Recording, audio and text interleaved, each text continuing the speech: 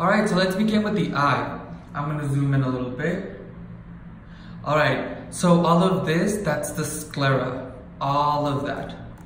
This clear structure right here, that's your cornea. And this, this is the lacrimal gland. It is important for you to remember that the lacrimal gland produces tears and it's a structure that is found at the lateral aspect of the eye. If this is lateral over here, that's medial.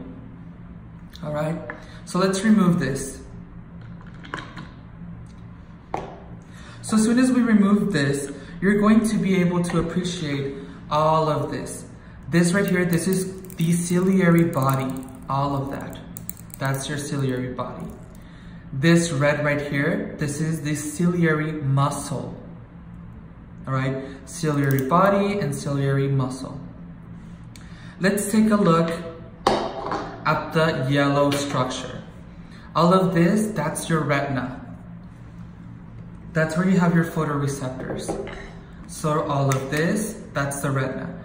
But take a look at number 18 right here. 18 is the macula lutea. You should have a little point right in the middle. If you have a little point in the middle, that's called the fovea centralis. All right? So retina, macula lutea, and if there's a little dot in the center, fovea centralis. So let's take a look at this little guy right here. And I'm gonna even zoom in closer. Oops. All right, so all of that, that's the retina. And right here, this is called the optic disc. The optic disc is your blind spot.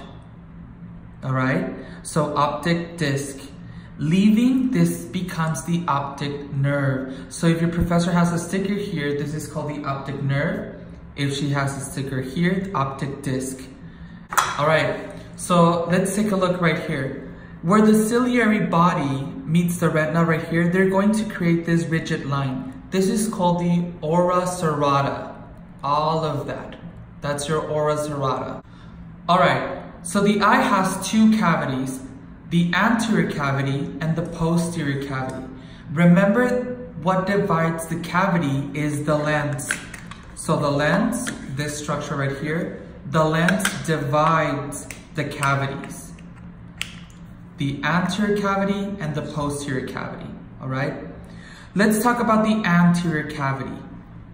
The anterior cavity has two chambers. This right here, where I'm putting the probe, this is the anterior chamber of the anterior cavity. From the cornea to the iris, this is the anterior chamber of the anterior cavity. From the iris to the lens, that's the posterior chamber of the anterior cavity. The aqueous humor is found in the anterior cavity overall. And when I mean anterior cavity, I mean both the anterior chamber and posterior chamber of the anterior cavity.